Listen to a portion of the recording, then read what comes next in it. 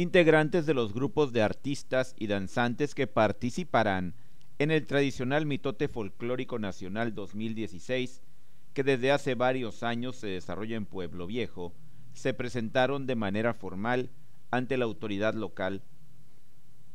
El coordinador general del evento, Atanasio Pérez Flores, manifestó que será sin duda un evento que reunirá lo mejor de las expresiones artísticas de la República Mexicana.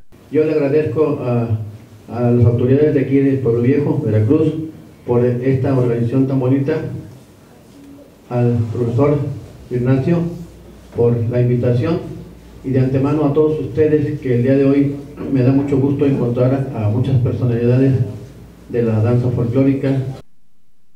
En representación del alcalde estuvo presente el contador Arturo Juan Delgado, quien dio la bienvenida a los grupos participantes.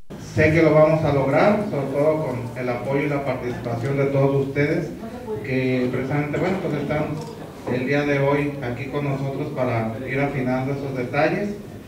Y bueno, pues nuevamente les reitero la bienvenida y estamos a sus órdenes.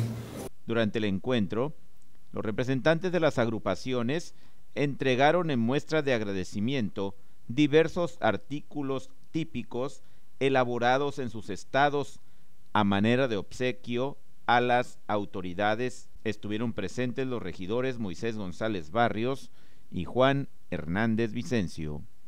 Noticieros Canal 9.